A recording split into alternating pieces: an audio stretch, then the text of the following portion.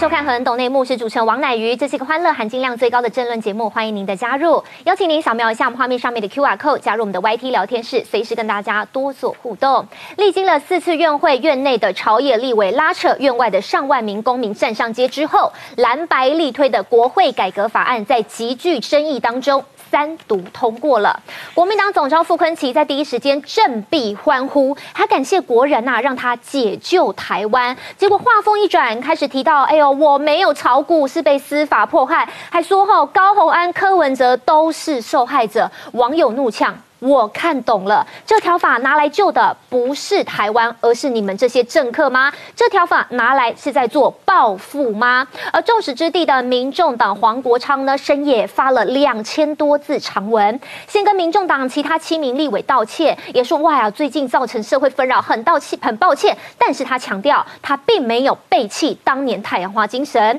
而真实的黄国昌呢，却对上百名的法律学者的声明嗤之以鼻，认定所有人都被蒙蔽。他更点名，我第一件要查的就是民进党政策会执行长王义川在政论节目上面讲到用手机定位分析群众一事。网友说：“哎，说真的，你想知道这些人群是谁？你走上街就知道了。”黄国昌是在做。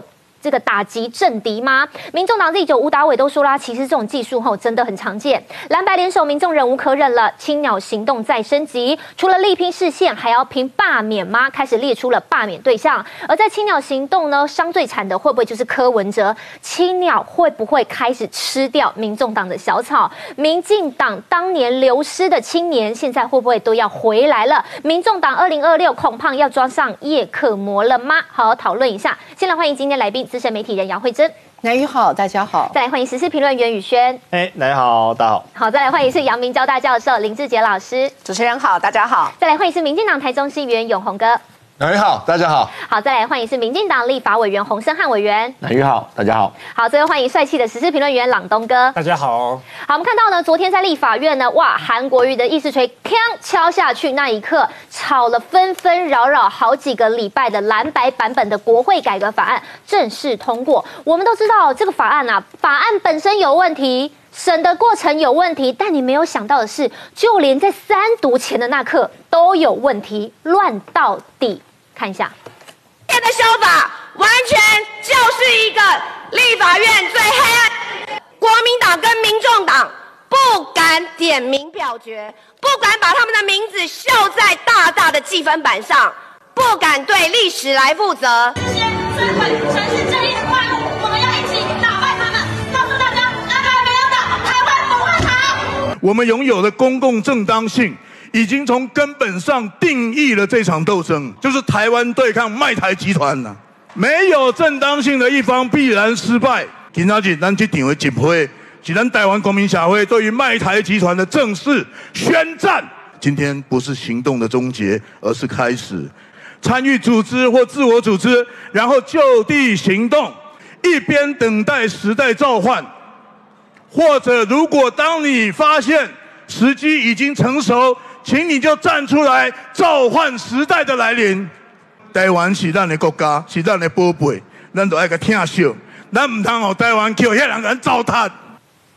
好，我想问一下慧珍姐哦，当然啦，其实昨天三读通过了，但其实昨天在场所有的民众其实内心都知道会有这样的结果，但是大家还是选择站出来。那很多人这个很多蓝白就在笑啊，哎呦，那你们那么会，你们为什么不冲进去呢？你们不是最会了吗？哎，但是其实大家昨天站在街上呢，其实就是表达一样的诉求。哎，但同时慧珍姐，大家没有想象的是，昨天在三读最后的时候，竟然还可以错，就连郭国文就直接跳出来说，哎，你们讲所谓的元跟新台币没有讲清楚，罚二十会变罚六。六十万呢！另外，你们在最后一刻还想要改那个文字，大家觉得真的不可思议，乱的彻底吗？是呃，很多人会把昨天的这个视为是呃台湾的民族史上最黑暗的一天，但我不认为是台湾民族史上最黑黑暗的一天，但我认为是台湾的国会史上呃最黑暗的一天。黑暗的程度包括他们从头到尾黑箱之外，还有我们立法品质之粗糙哦。我觉得呃，不管是他们的国文老师，或者是他们相关的法学老师，应该会公民老师搞不连公民都有教，好不好？可能都会跳起来哦，真的是会斥责他们。怎么说呢？你都已经在最后的一个啊三读的情况之下，哎，怎么发现你的第二十五条的这个漏写了新台币单位只有元？哎，那根据我们现在现行法规所规避的这个货币当中哦，如果你没有特别去写啊新台币的话，你只用元的话，事实上它是要用新台币三倍来计算的。那当然有人开玩笑说，啊，你现在到底是新台币还是人民币啊？如果是人民币的话，那可能还要更多哎。所以换句话说，你们都已经要把它变成是白纸黑字，要变成是我们中华民国的一个法律了。既然那个整个立法品质粗糙到这个地步，其实应该也是前所未见。除了这个之外，我自己认为哦，这件事也是非常惊人哦。包括什么？你看，既然也是在哦他们的第五十条第一项至第三项里面所有相关的一个文字里面，文件啊，这应该。对，就是应该是在所知的部分，文件、资料及物件，这个文字要修正成文件、资料及档案。哎，物件跟档案是差加追呢，物件是具体的东西呢，档案，哎，可不好？就说，哎，那个宇轩，你把你的低潮的一些东西给我，跟宇轩你找李正浩拿，我没有。哎，那个当事人不在场，可以用这样 K O K O 的哈。所以这像说，哎，你把你的物件给我，那是完全不同概念。所以光用这样的方式，你就会发现说，你这个立法。委员的品质之粗糙，还有这个立法的一个状况，真的让人家觉得这未来真的是我们中华民国两千三百万人可以遵循的法律吗？还再来，我们大家都一直搞不清楚一件事情，到底从头到尾，你傅昆萁在紧张什么？你傅昆萁在着急什么？你知道附随组织的黄国昌，你起的给小米，哎，整个你们才刚上任也没有多久，哎，未来的四年可以问到好，问到满。黄国昌想问期可能短一点，有两年，但是。你写的 g i p s 现在有，你看，你看到这一幕，答案揭晓。为什么从头到尾大家理不理解？现在终于知道了，因为复仇者来了。复仇者，复仇者是傅昆奇要报仇，他要报仇谁？他直接讲啊，他说：“哦，你们这个呃呃国民党呃民进党啊，你们那个政府啊，把我之前啊，我是九星。”呃，九年的五星级的一个县长，对，结果你竟然用那个迫害的方式啊，用刑法第一百条啊，意图罪啊，把我抓去关了。哎，不好意思哦，我们为了那个很公平，而且我们为了要求证，我特别把这个这个什么。最高法院一百零八年的一个呃这个判决文哦弄出来啊，这个案子就是马中芳、傅昆萁、林嘉诚违反证券交易法，好不好？证券交易法，我不知道傅昆萁是理盲还是文盲，明明就是证券交易法，他竟然可以把它讲成是刑法一百条，这个是证交法，而且如果说有其他相关的法律哦，到最后判决是两年十个月，我跟你讲。这个只是其中一个案子，这个只是，而且这个案子的犯罪的时间点是在呃民国，我如果没记错的话，是在民国九十九年还是八十九年？就是以这哦这这里哦，天哪，还是很久，真的是很久以前的。跟他的一些相关，主要就是在当当时啊，他们在炒一些其他的一个案子，跟。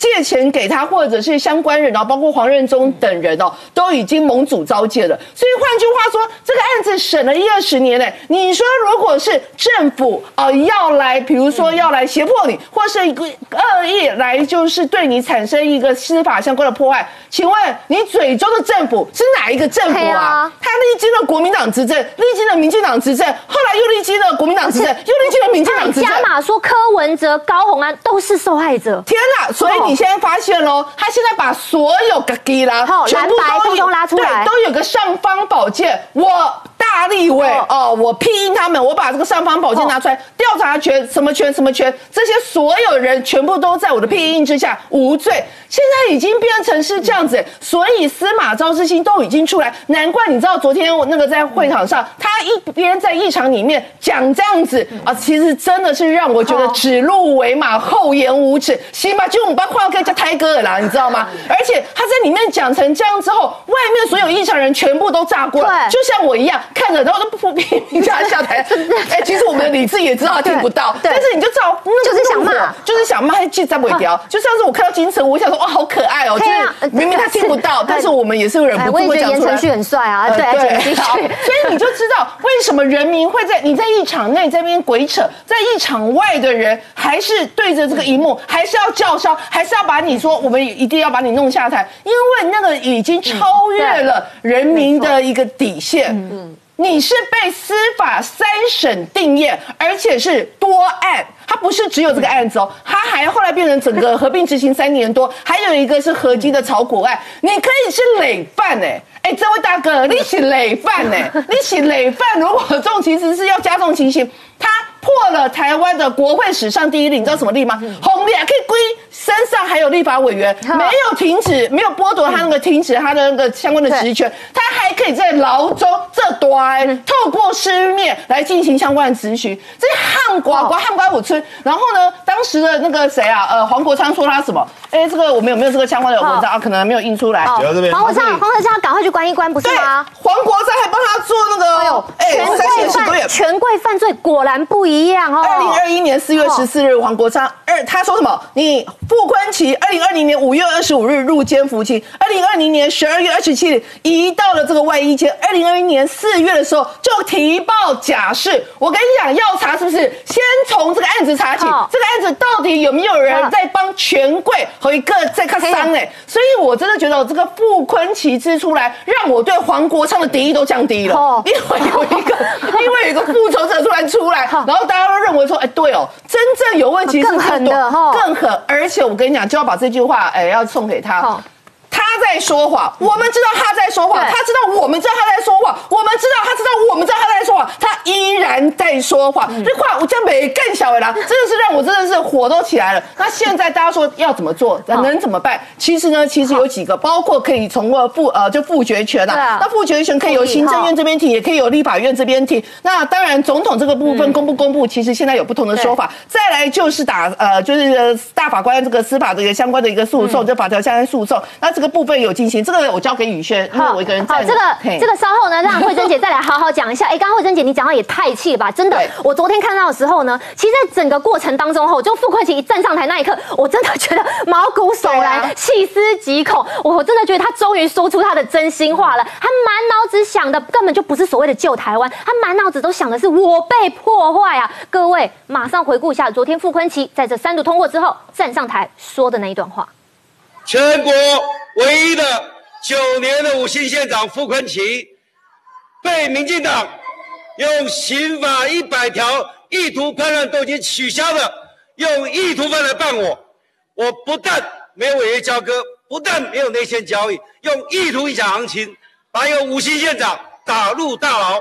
再一次的感谢所有全国的乡亲，让傅昆萁站在这里来救台湾。我们今天要打破。专制腐败的政府，我们成立民间特侦组，把所有贪官污吏全部法办，让台湾重新阳光普照，属于全台湾两千三百万人自由、安定、繁荣的新台湾。台湾加油！台湾加油！台湾加油！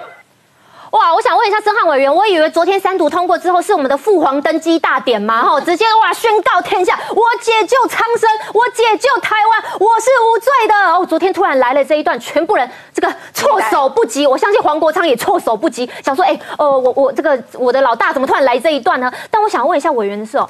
傅昆萁这一段话是不是说出真心话了？他满脑子想的都是要做复仇吗？原来所谓的国会改革，也就是民进党认为的国会扩权的这个法案，从头到尾都是他来打击政敌使用吗？而且昨天其实我看邱莹委员有一段，其实我内心是觉得很难过的，因为他推了好多年的再生医疗法，党到现在都没有过。哎，你真的为了苍生好，真的为了福国利民好，你好的这些民生法案不过，傅昆萁下一步是什么？启动在野特征组哦，要来废考监等等等。哎，他们感觉不会善罢甘休，感觉会持续前进哦。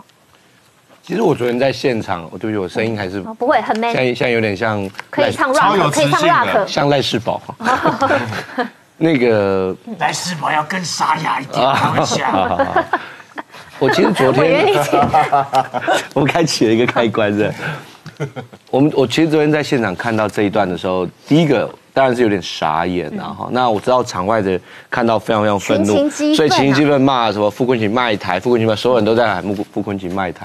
可是我我自己觉得他其实昨天那段话，其实也他也不是讲给外面这些人听或一般人听的。我自己觉得其实昨天的他这一段话，真正看到会在发抖的，其实我觉得是国民党的人。哦，其实傅昆萁这一段时间，你说。国民党的人知不知道他形象不好？嗯，他过去有各种形式上面的问题，当然都知道。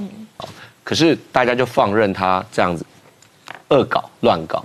那傅昆萁也知道，他如果想要在国民党里面真的成为一个真正的共主，现在阻碍他的就是他过去的这些形象上面，或者他的这些前科的问题。其实这一整趴都是，其实傅昆萁最想做的事情是，他要先成为国民党里面真正的领导者。嗯，在成为国民党领导者以后。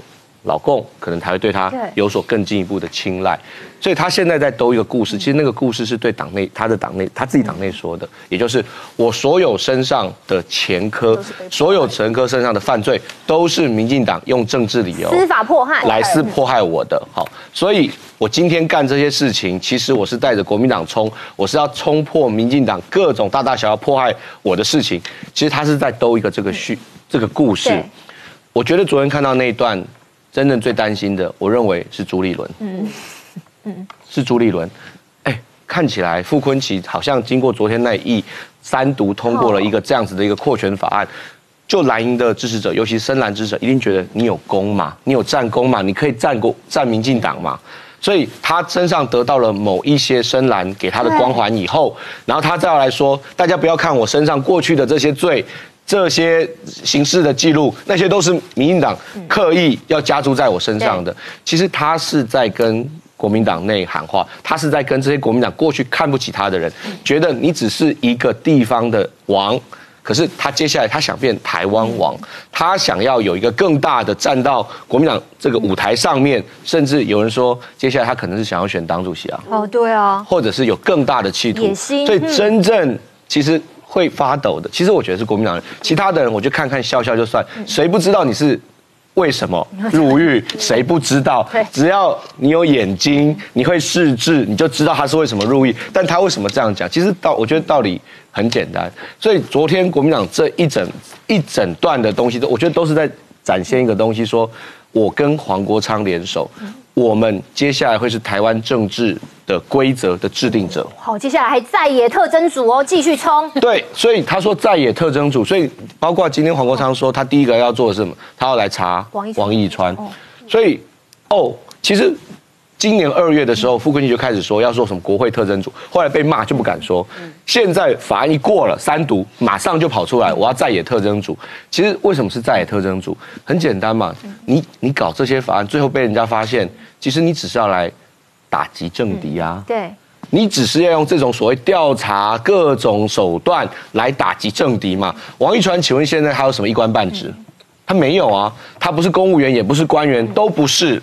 他是其实现在是一个平，嗯，一般平民哎，虽然他有党职，但是他是一般平民。但我第一个就抓一般平民来去处理，来去调查，这整套其实三读一过了以后，狐狸尾巴就露出来了嘛，这就是一整套拿来打击政敌的工具嘛，很难看吗？我觉得其实大家都看得出来，只是他前面用一个包装纸那边遮掩说啊，我是要来查弊查什么，就最后查的这个弊案，把自己修法过程都变成是一个弊案嘛。连最后，说实话，那个三读的过程，我们看到其实就是小偷被人赃俱获。他想要偷偷摸摸让韩国瑜念完那一段文字，把把文字给改了。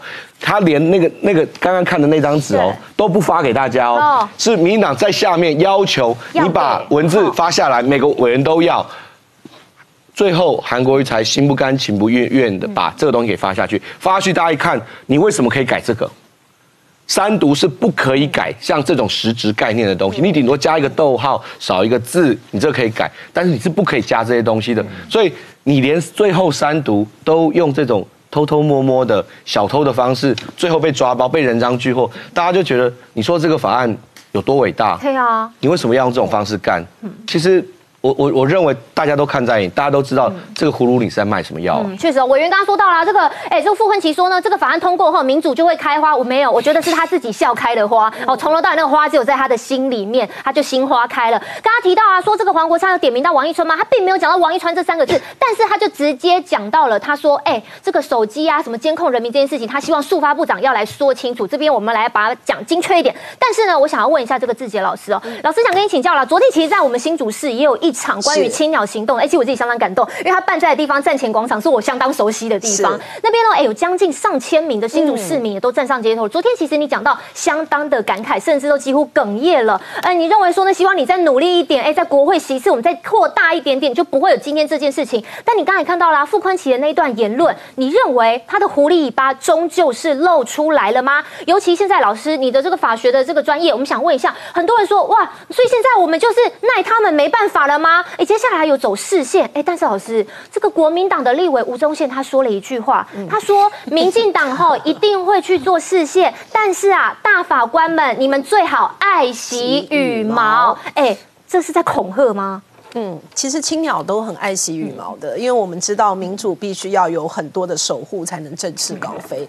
我觉得昨天其实，在新竹大家是很感慨的，因为呃，从这个国会乱象的结果，会我觉得让很多台派对一月的选举有重新的反思。也就是说，政治是非常现实的。当你在国会里少一票就是一票，所以未来我觉得在县市长的选举或者下一届的立立委选举，我觉得台派的团结应该是不可避免。因为你可以看得出来，当他今天人数压倒性的胜利的时候是没有道理可讲的。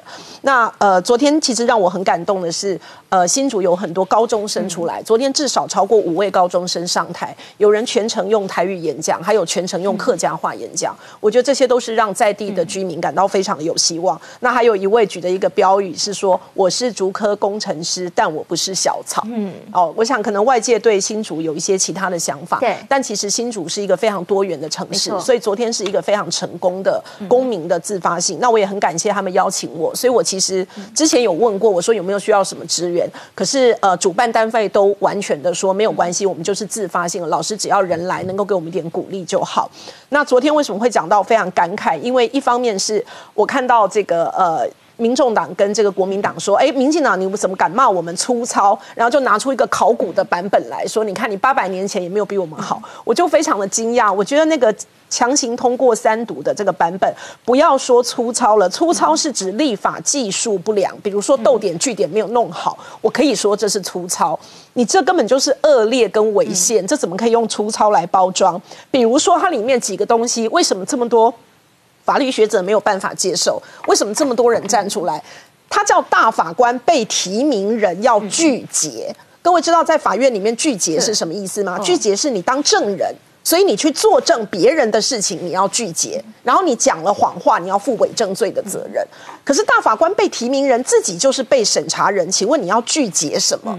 所以他这个是非常奇怪的。然后就如同刚刚我们主持人提到的，他可能第一个，还有刚刚申汉委员提到，第一个他就要传一个一般平民百姓没有政党背景的，前面还把它包装成说我们是不希望官员说谎，结果没有。我这边要更正一下，他并没有说要传网易传，是说他针对于这一件事情，他认为是有意见的，他觉得速发部长应该在咨询的时候应该要说清楚。那当然，人家说你提到这件事，你背后见证的不就是网易传吗？那。过去我们看到他包装的是说他要对官员给予比较严厉的要求，可是事实上他是项庄舞剑，意在沛公嘛。你看他全部最重要的都是要求私人、法人还有机关团体来交出文件档案，还有刚刚慧珍讲到的，还在三读的时候把这个呃物件改成档案。可是我觉得物件这个词也很奇怪，因为我们很少出现物件这种词，这词应该是中共对有点中国用语，非常奇怪哈，就是怎么会有物件这种概念？所以回来。来，我们看一下，其实从头到尾，确实就如同我们看到的，他就是想成立国会特征组，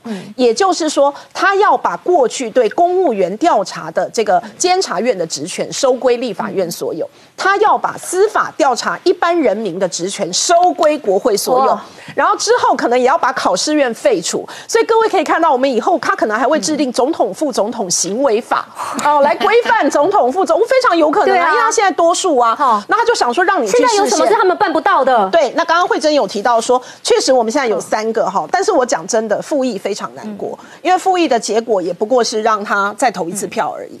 那公民复决的状况呢？因为门槛很高，我们十八岁公民权。嗯，这么多人这么支持，最后也是没有过哈。那当然，总统不公布这件事情，我个人是觉得，如果真的要走这个路线的话，对总统会非常的困扰，因为我们每天的法律过都是多如牛毛，所以从此以后，总统对于每一个法案都要做实质违宪与否的审查，我觉得是有现实的困难度。那如果唯一的一个我觉得可以做的，恐怕是在大法官还没有释宪的时候，先给他做一个紧急的暂时处置。好，那我们在宪法法庭曾经做过一次，就是在争夺子女监护权，一造是外国人，一造是我国的国民的时候，那怕这个小孩可能就被带出去了等等之类的，对儿童安置有紧急的需求，所以那一次确实有做过紧急的处分。好，所以如果要做这个的话，我觉得倒是有机会的。那你也可以看看到我们的呃蓝营跟白银的委员已经直接。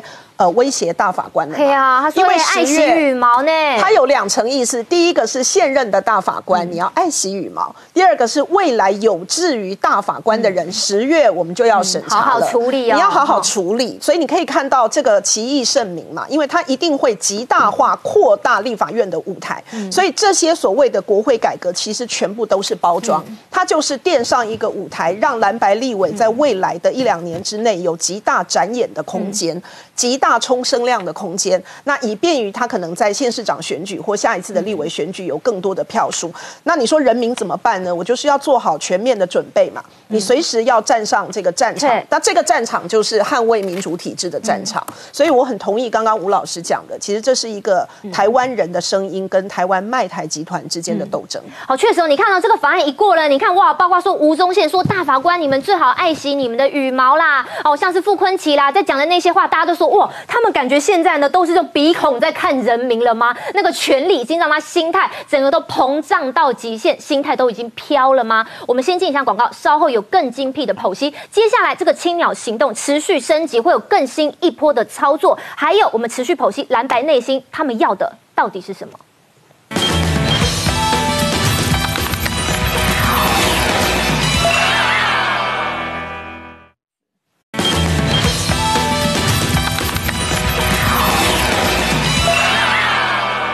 昨天蓝白推出的这所谓的国会改革法案，国会的扩权的这个法案啊，正式三读通过了。哎，但是呢，接下来就很多的这个民进党立委依序上台发言。哎，黄国昌自己推的东西，自己都懒得上台发言。很多民进党立委表达他们的不满，其中省发会就提到了，哎，听说在你们花莲，花莲也想要提所谓的藐视议会罪啊。哎，林某林某公不呢？我们来听一下。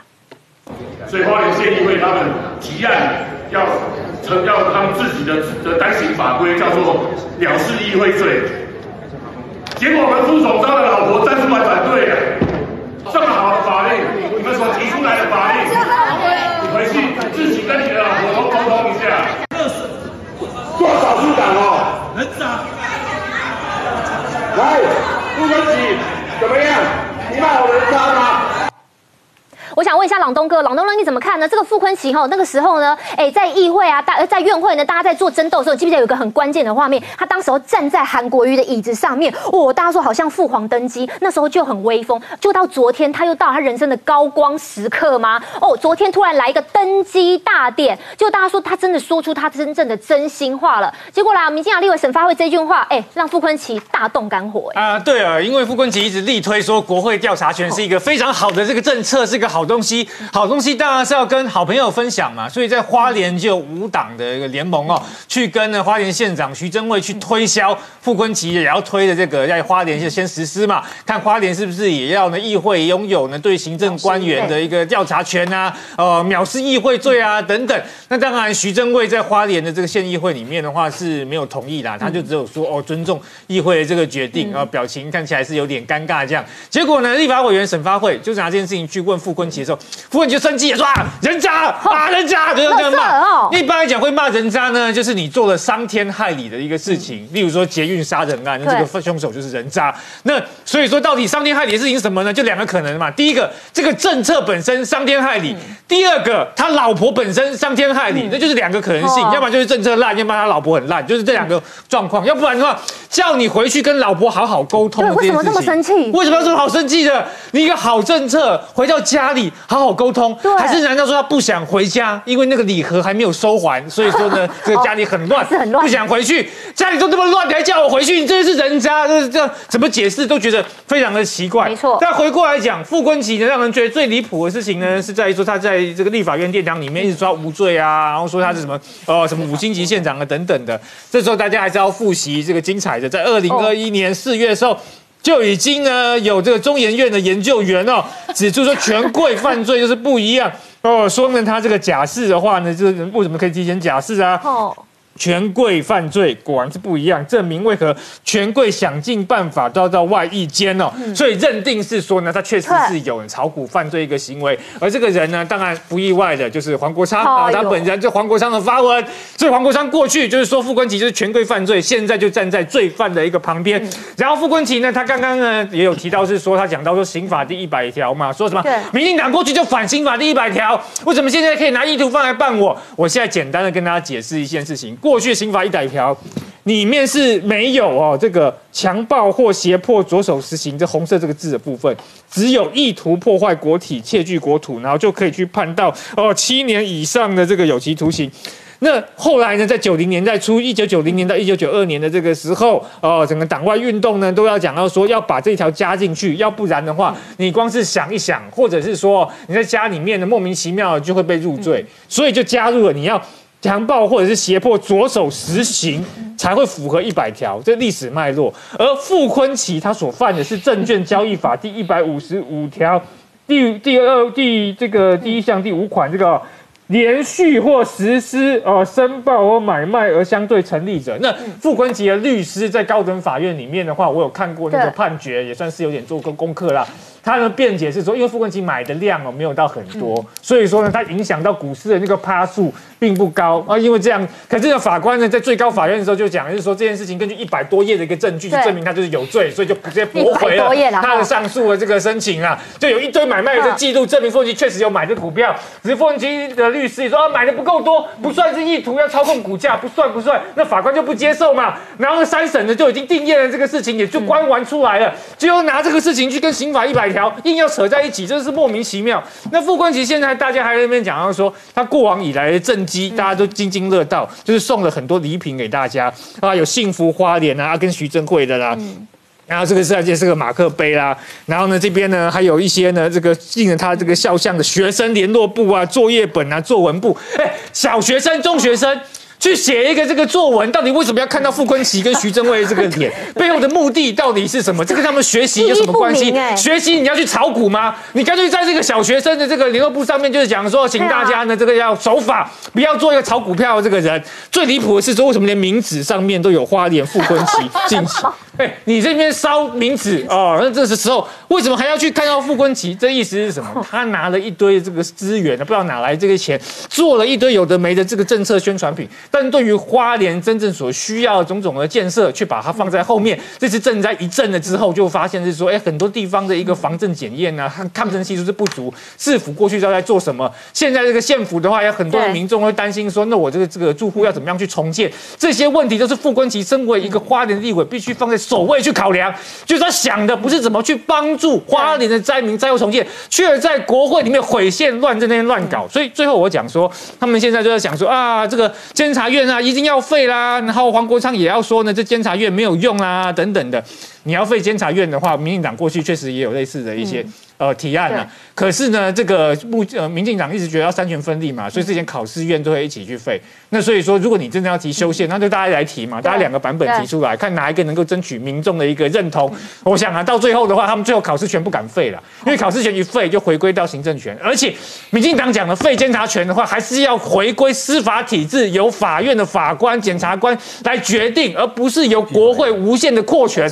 所以光是要废考监这件事情，如果要正面对决的话，那傅昆萁跟黄国昌就尽管放马过来啊。好，刚刚老东哥讲到一个很大的一个重点哦。其实呢，这是我们有包括我也有去现场看嘛，其实现场有很多的花莲人，包括我自己朋友呢，他在花莲做旅宿，他说他其实看到傅昆萁这样，他其实觉得他内心是充满着无奈跟痛苦的。他说我们花莲现在很多的观光产业是跌到谷底，之前的地震之后都还没有做一个复苏，包括说他自己也觉得快要撑不下去了。可是他们的立委在哪呢？花莲唯一的那个立委在干什么呢？他在做他的国会改革法案，在告诉大家他是被司法破坏的。我想问一下宇轩的是，哎，是谁让这个傅昆萁这次这么的威风？因为他现在有一个熊瞎趴的一个小弟吗？叫做黄国昌吗？包括说下一步要来废考监，两个人又是一样的论调。先带你来听一下，稍后让你好好论述一下。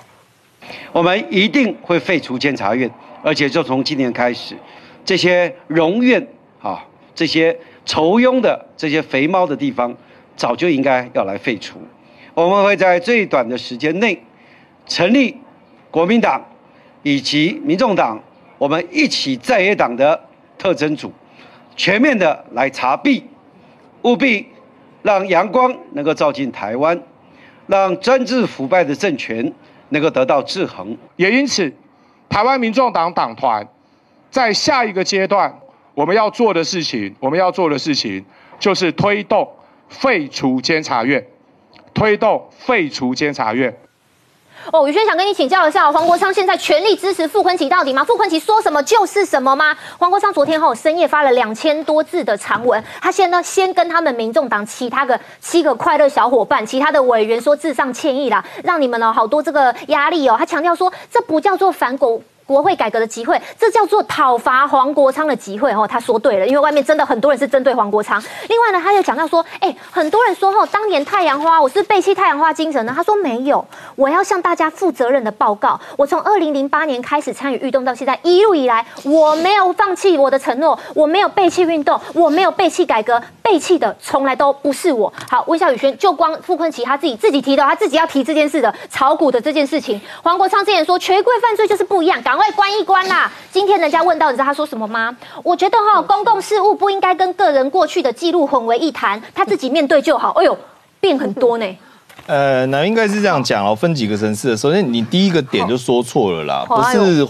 傅昆萁做什么，黄国昌跟着干，也不是他小弟啊。我逻辑错误了吗？对啊，我一直在强调傅昆萁是个大草包嘛，他想不出这些东西来，是他跟着黄国昌干。哦，啊，这个逻辑才是正确的，是傅昆萁跟着黄国昌干。好，我记得了。啊，这第一件，在第二件事情，考监有没有可能废？我跟我讲，这直接讲这假议题了。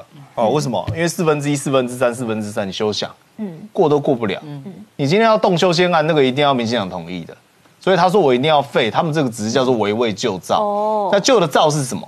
就是国会改革无法，接下来得面对到一个挑战嘛，对不对？那再来第三件事情呢，我这边还是必须要严正澄清一下啦。哦，就是说可以对国民党，嗯，可以对民众党有意见，但是包括国会，包括听证权、调查权，这是蔡英文在二零一五年十二月的时候，在他脸书推出的《人民的国会开放的国会》三个法律里面清清楚楚写到的。好，那废考捐这也是过去民进党一直长期目标，因为民进党希望把五权分立改为三权分立嘛。哦，通过这样的方式才能真正行使所谓的台湾全独结一文。哦，也就是他们民进党党纲。哦，所以这两件事情我是认同的。哦，所以我觉得不要因人废言。哦，因为说啊，今天是国众两党，所以我们就说这些东西全部都是坏的。哦，因为我说这是第第三件事情。那最后我现在要讲的是什么？今天现在国民众两党面对一个很尴尬的处境，哎。因为我们刚才在讨论傅昆萁，对不对？我跟你讲，傅昆萁现在是冤大头了。好，你知道什么冤大头吗？我我问一下哦，你有没有看一下柯文哲脸书，他怎么解释？他对于这个所谓的改革无法通过，他的解释是什么？哦，他通篇文章，各位没有提到国民党三个字。嗯，都是他们的，不是都他都只讲到民众党，说民众党做了什么，民众党多好，民众党多棒，民众党多么辛苦，流血流汗，然后终于达成他们的目标了。首先，他把国民党丢包了嘛，这第一件事情。再第二件事情。那请问一下，在议场里面辛为谁辛苦为谁忙的是谁？那国民党啊，霸占主席还是国民党啊？跟民将打架是国民党啊？那乱七八糟弄的老半天是国民党啊？被被这个黄国昌喷口水的是谁？是郭国文。哦，对，但是请问一下，你知道民众党在干嘛吗？吃炸吃炸鸡啊吃炸鸡啊，吃炸鸡。黄珊珊，黄珊珊还在看清华城的文件，还有直播，是辛苦的。哪里 辛苦啊？就现在跟你讲说，哎，全部不好意思哦，功劳都是民众党。小草们，我们达到了。哎，不不，更狠还不止这边。你知道民众党柯文哲说什么吗？柯文哲说，五二零之前哦，哦，因为赖清德还没有上任，还没有行政官员，所以我们推我们想要的法案。然后你知道他怎么解释国民党的吗？他说国民党哦。只是想要给民进党难堪而已啊！把国民党形容他扣这样一个帽子，就是你们在打政敌啦啊！我是要改革啦，哎，对，引起来乱的啦，形容跟八七一样。只有我认真呐哈！哎，对对对对对。然后呢，他说，但是未来呢，不管是司法院长啊、NCC 啦、人事同意权，我基本上都会支持爱情的。啊，对不对？那国民党又被骗了啊！对啊，所以他又再度又把国民党给卖了嘛。所以刚刚只在玩两手嘛。那傅昆萁看起来很高兴。不不不，这两手是这样的啊，就是说我一边是我要跟民进党政府赖的示好。但另外一边呢，我拿国民党是要做什么？哦，所以我刚才讲讲反了，因为是黄国昌把傅昆吉这个大草包哦，当做是五十四票的威胁工具嘛。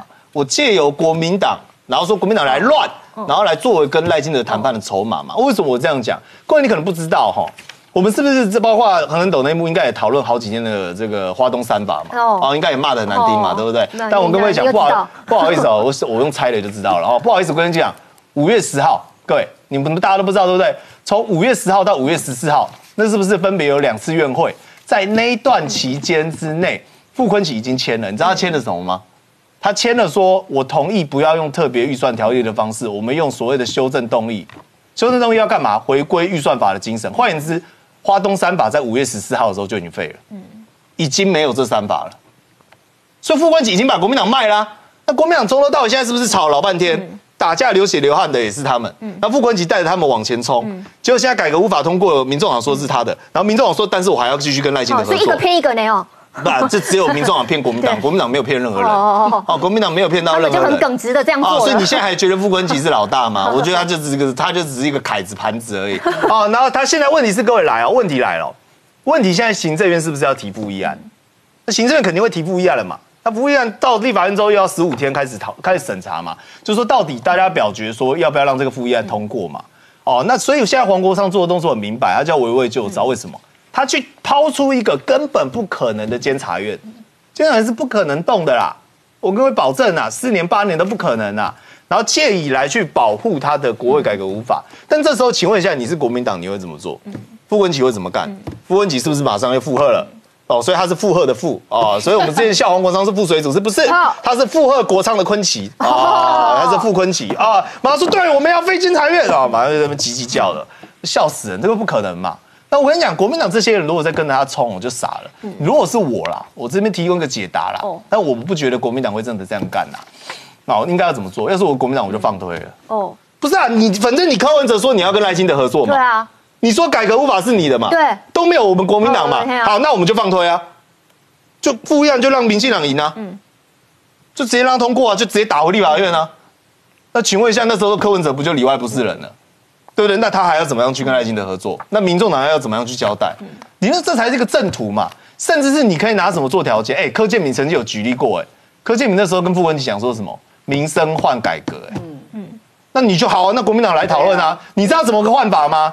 今天花东这个条例，对不对？现在到现在为止，是不是很多人都在骂？是不是胎死腹中了？那我跟你讲，如果是行政院提出来版本呢？行政院可以提出一个规划更详细、更好的版本啊。那行政院提出版本，国民党作为法案援助特别预算条例，再把柯文哲给杀了啊、不就这样子吗？花东快八月就会出来了。对啊，那你可以先可行性优先的先出来啊。那你你国民党可不可以作为立算？你就不用再透过民众党了。各位，我要回归到一个最根本的概念了，大家很多人都忘了，一直在跟我讲蓝白河，少在那边蓝白河。一月十五号的时候，黄国昌第一个首先提出国会改革无法。一月二十四号，韩国瑜首度回应，那个时候呢，大家怎么说？哎，你韩国瑜干嘛配合民众党啦对？啦，这蓝绿都不要理他，跟他走拿什么翘啊？费巴喜，哦还要我们拜，还要对，还要我们考他。试。哎，对，就是现在大家都忘记了。哎，对啊，国民党现在考得很开心哎。最早的是民众党，好不好？最早提出来是民众党啊，国民党提出来是改革。再来，错各位，我跟你讲啊，我跟你直接跟你讲下场。为什么我建议你们最好是直接把它卖了啦？因为民众党现在要卖你嘛，对不对？好，你跟着他去弄监察院啊，不会有结果。你跟着他去弄改革无法吧，大家继续闹。那我跟你讲，只会有一个方，只会有一个下场，什么？各位，二零二六快到了。那二零二六的时候，你们蓝白全部拉在一起，请问一下，这时候民主党会干嘛？他会在你全台湾二十一个县市大幅度的提议员，然后说我们跟国民党是伙伴，我们是改革的先锋，国民党仰赖我们才有办法国会改革的，我们要共同对抗民民民民进党国。民党被冤大头了我。跟你讲，你就是完蛋了嘛！那前阵不是柯志恩跟那个谁啊，林国成在那边讨论高雄蓝白河啊，合个哦，哦，我直接跟你讲，合个，你知道为什么吗？你今天国民党高雄的议员，什么李梅珍、陈美阳那些的，乱七八糟，什么联盟一大堆，各自分帮的分析。白乔英要下去选的时候，全部都被你们国民党的内斗内行搞排挤到已经快死了。你今天还说我要拉民民众党的来哦，民众党要提几席？民众党要提几席？我跟你保证，光是国民党这些议员都瞧不拢。所以你到时候自己人流失的票更多，不可能有什么蓝白河的啦。哦，只有卢秀燕那一套行得通啦，嗯，其他地方不可能啦，好不好？所以你如果这样啊，只是死路一条。但我跟你讲，蓝白继续合嘛，那继续合没关系啊。我说最后谁乐见，你知道吗？因为原本大家其实我们前一阵不是在讨论柯文哲应该被抓去关吗？对啊，对啊。啊，柯文哲借由这个这个我们讲蓝白河的话题跟朝野内斗纷争的话题，他已经解套了嘛。对因为赖清德这时候再去办他就很难看了嘛，哦大家就会说你是有政治性目的嘛。所以他在替自己争取时间，所以我看到一个新闻写说，哎，柯文哲最近之前的脸都苦瓜脸，最近笑得开心。当然啦、因为他重新又看到自由的光芒了啊、看到明天的太阳了啊、本来原本眼前都是乌云罩顶的啊，所以你现在继续和嘛。我跟你讲，那柯文哲等到二零二六，你国民党都等着倒台，你现在还有十五个、十四个县市首长，如果柯文哲尬下去哦，柯文哲拉下去哦，你们继续合作下去哦，绝对没救。拜托一下，这个整天都在卖人的人，民进党被骗一次，二零一四年被骗一次就够了，就是你国民党到底要被骗几次，哦。我都搞不懂哎。六点协议到现在被骗几次了？所以你说傅昆萁是不是主导国民党？不是，傅昆萁哦，我还是套用一句金溥聪跟徐小新的话哦，他就是国民党的病毒嘛，趁虚而入，趁你病要要你你命命。对，只是哦，你知道病毒的特性是什么吗？现在连徐小新都忘了这句话。啊，病毒有一个外壳，它有一个外壳很坚硬，那里面全部都是空的，大草包就你傅昆萁。哇，就看宇轩讲到了，从头到尾啊，这个国民党都被民众党带着走。呃，接下来呢，请大家扫描一下我们的 Q R code，因为接下来我要给我们来宾做考试了啦。刚刚讲到黄国昌一路带着傅昆萁到处跑，来冲师表测验、纸笔测验，林林总总告诉大家说，哎，现在最夯的这个冲师表，你背熟了吗？观众朋友，你背熟了吗？我要考验一下我们现场来宾，请我们的班长、我们的慧珍姐一一发下去。先稍后，请大家好好来作等一下来看谁从此表背的最熟，还有黄国昌背后到底还有什么阴谋？什么鬼啦？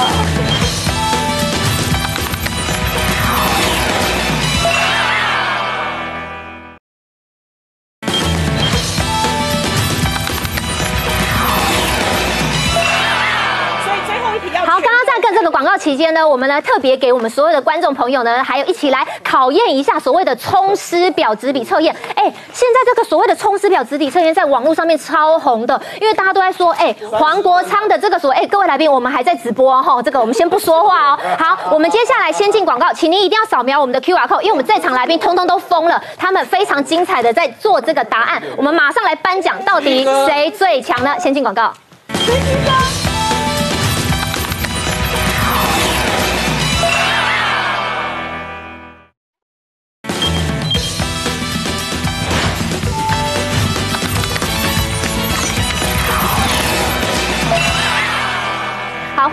很《懂内幕》的节目现场。我们今天谈到呢，在昨天啊，所谓蓝白的国会改革法案三读通过了，而在背后呢，刚宇轩也分析到啊，从头到尾都不是傅昆奇带着黄国昌走，而是黄国昌带着傅昆奇走。哎，确实也点醒我了。黄国昌被人家问到说，这个法案从头到都是你提的，他说没有啦，这是国民党跟民众党一起提的啊。可是傅昆奇哪有时间弄这些法条？所以从头到尾就是国昌老师吗？那国昌老师硬要推这个法，背后是什么？打击政敌吗？做报复吗？还是实施什么样真正他的目的呢？我们来听下黄国昌在他直播已经沾沾自喜的说，他第一个第一个要处理是什么？处理的会是王义川吗？来听一下。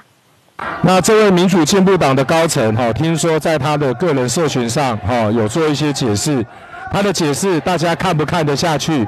哦，还是认为他根本在胡扯一通？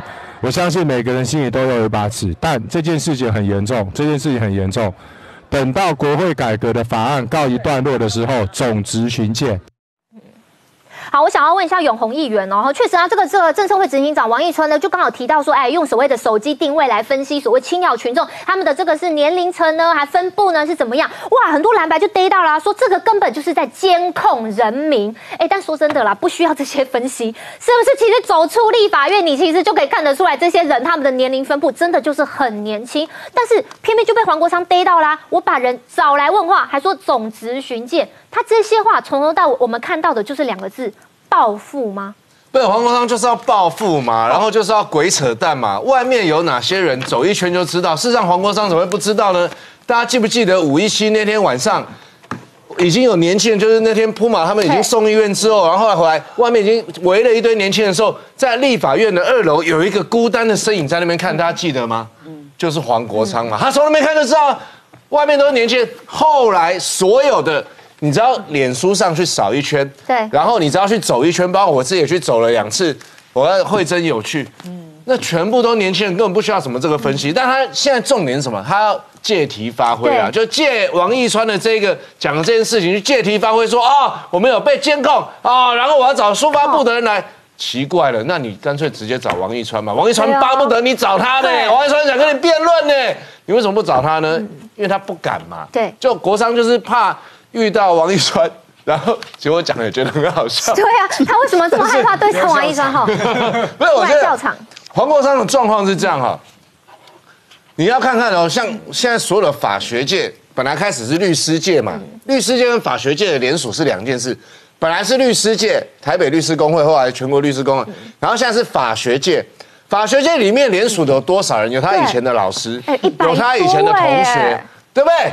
然后有他，包括这个明今明联的赖中强，包括中央研究院的苏彦图，这是以前他的同学啊，包括他以前的学长、学弟、同学、伙伴呐通通在里面。以前还帮他助选过，像他以前选台大学生会会长的时候，我刚刚念的这些人，包括赖中强，包括苏彦图，包括范云。通通以前帮他助选过，哎，但还包括什么？包括我们现在经济部政次曾文生啊，以前的那个对政次曾文生，大家都帮他辅选过。现在每个同学都觉得说，哎，安利到底是在冲啥？你是招金体哦。我觉得很重要一点是这样哦，回到就所谓的国会扩权这件事情哦，大家一定想说，到底是向雷布基出的？我跟你讲啊，这两个唱双簧啦，傅昆奇脑袋是空的啦，他想不出这些制度上的骨气啦。黄国昌自己也讲啊，黄国昌才知道啦，，对啦，黄国昌知道嘛？那黄国昌知道他用制度的设计，就让傅昆萁能够夺权，然后傅昆萁当然高兴嘛。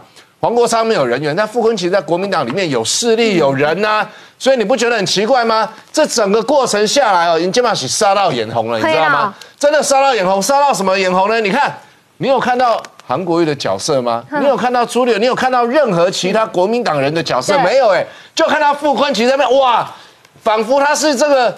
这个皇帝也，已经父皇登基了嘞然后之后他是全能，我看什么正义的使者，这些使者其实看起来现在是傅坤奇啦，所以人家现在傅，说真的，刚刚考这个冲时表，我真的非常不爽，因为我是现场三十分最低分的，好，那安内啦，除了这个，除了这个几个字这我真的不知道之外，你每一个形容，我觉得都是黄国昌啊，对不对哦？政治的门神，仇庸的门神，中共的门神，台大也需要他当门神啊，对不对？每个都是嘛。然后你说黄国昌。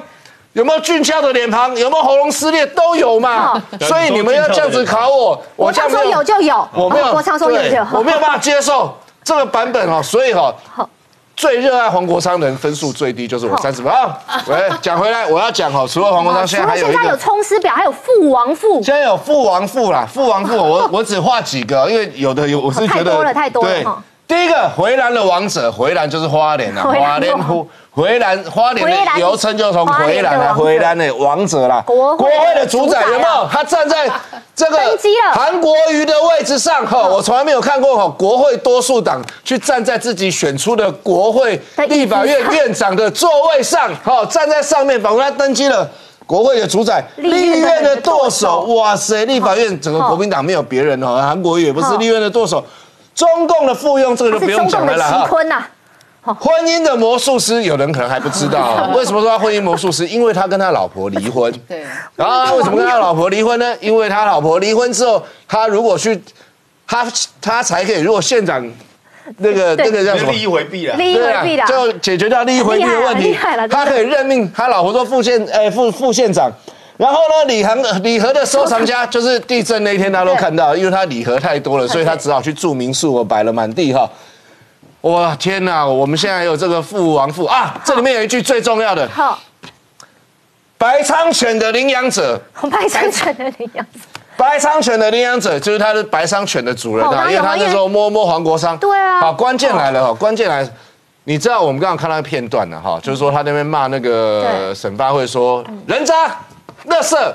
我觉得这两个字要送给你，为什么？我们刚刚讲这个回蓝的王者哦，你们知道过去这十几二十年来都回蓝的王者是怎么造成的吗？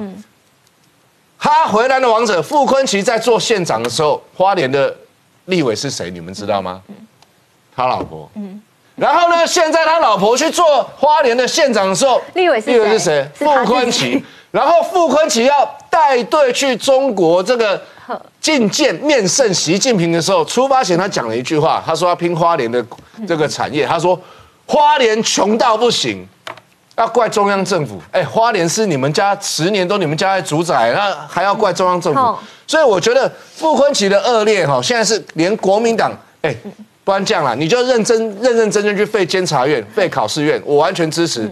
看看朱立伦怎么讲，看看马英九会怎么讲，看看金溥聪会怎么讲。果然他就像病毒一样，不但搞垮国民党，还把五权宪法都要把它搞烂掉。我支持啊，吼。把五权废掉啊，回到三权啊。哦，所以刚刚这个议员讲对啦，现在这傅昆奇这些话哈，听了最害怕的可能是国民党自己啊。病毒如果接下来扩散的话，哎，病一重就会要人命呢。但是呢，同时要带上供来看一句话哦，上供，人家说呢这个法哈，因为傅昆奇呢，刚刚我们所有来宾都分析说，应该没有傅昆奇这个起草的这个，他没有这个相关能力，他觉得都是黄国昌在处理的。但是黄国昌，你看人家说这是一个恶法呢，有上百名的法律学者出来说这是有问题的呢。黄国昌对于学者的质疑他怎么说？黄国昌对于苗博雅的质疑他怎么说？黄国昌接受《经济学人》专业记者的时候他怎么说？他竟然叫人家去看网络新闻，他觉得网络新闻写的最好。我们来看一下。苗博雅散播的这些谣言，卡提诺新闻啊，那个卡提诺新闻还把它整理的蛮好的，真的。哒哒哒哒哒，他们联署的声明我拜读过了啦。啊以前有很多都是自己在法学界的同僚，所以我话不想说的太重。哦，我以前在法学界的朋友有有听到，哦，所以就传了讯息来给我，他 说什么？他说哈、那个声明的内容太空洞。好，今天中午我利用休息的时间，我在后门接受了《经济学人》外国记者的访问。民进党，他们连《经济学人》的外国记者都为他们一拖拉股错误的资讯。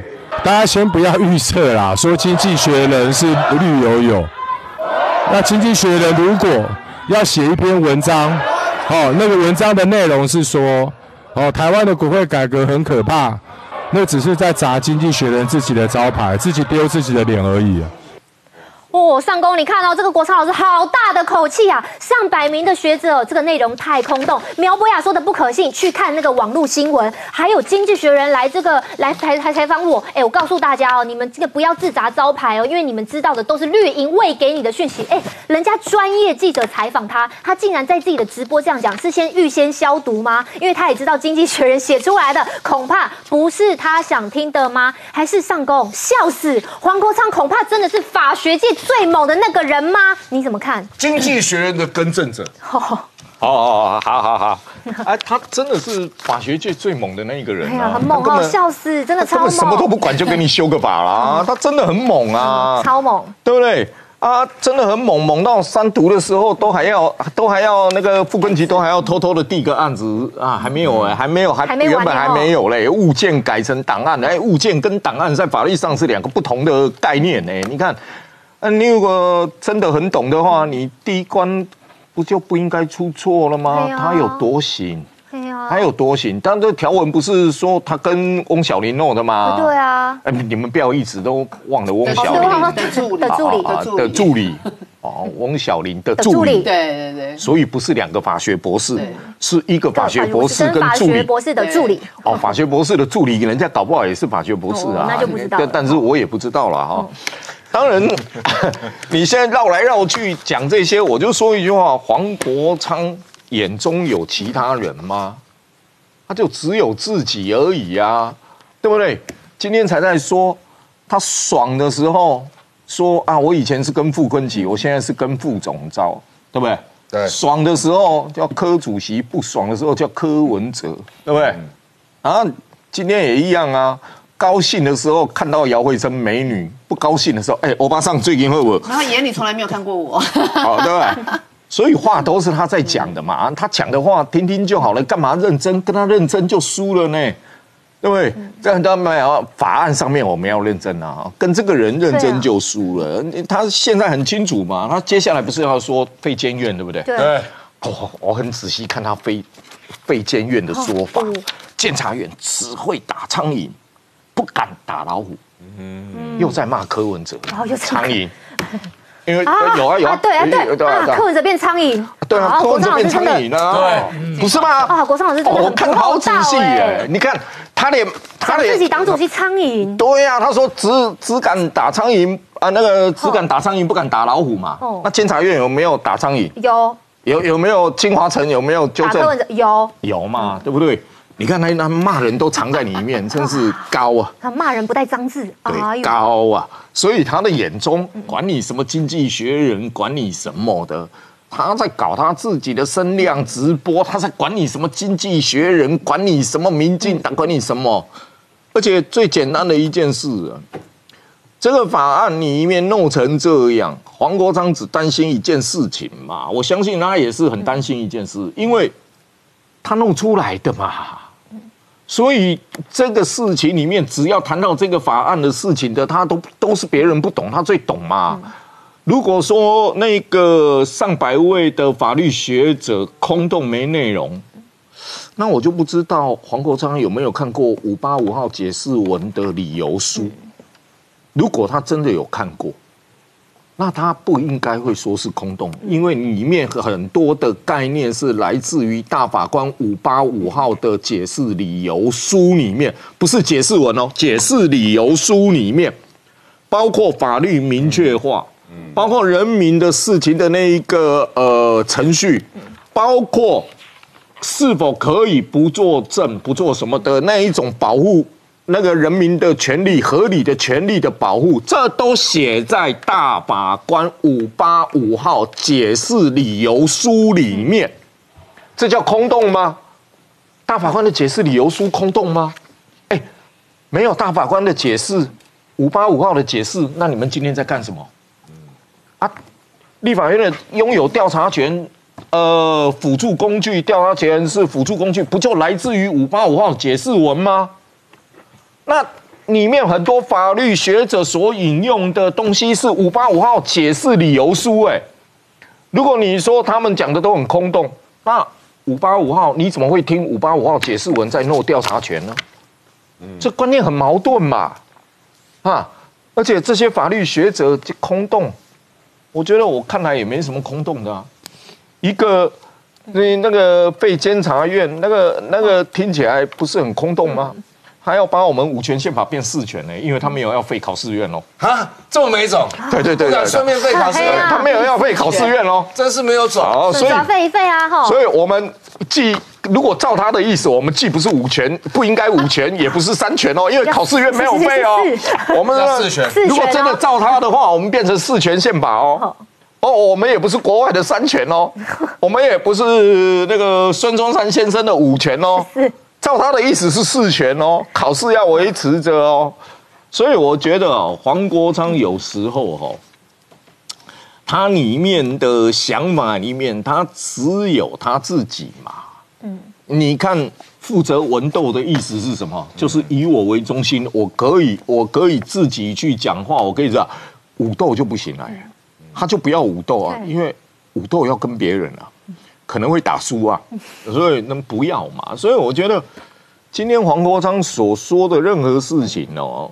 我觉得就近代大法官吧，哦，然后我也不相信我们的大法官经过立法院同意等等，我们大法官的素质会比黄国昌差吗？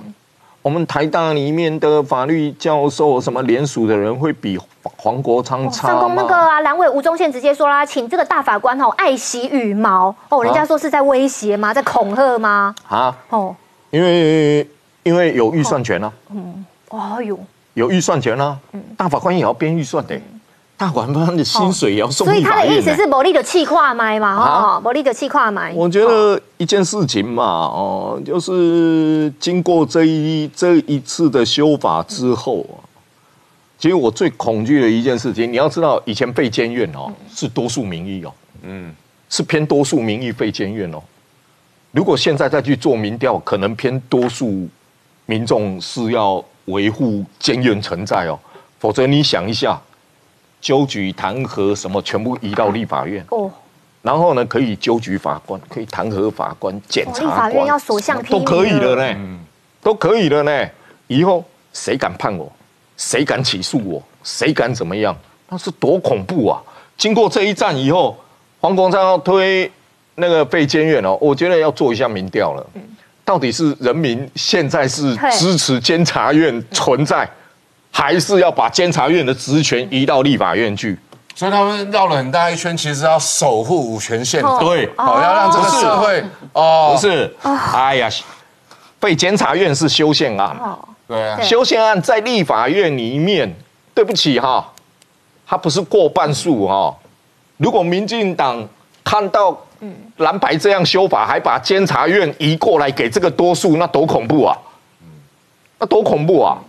所以黄国昌任何的一个主张里面，大家去细想一件事情：如果当立法院职权法普遍人民都认为不宜扩权、有违宪之余的话，这样的法律他们都毫无畏、毫无所所畏惧的，就这样给你撸过去的时候，各位再想一想，监察院卡的职权再撸过去，我想。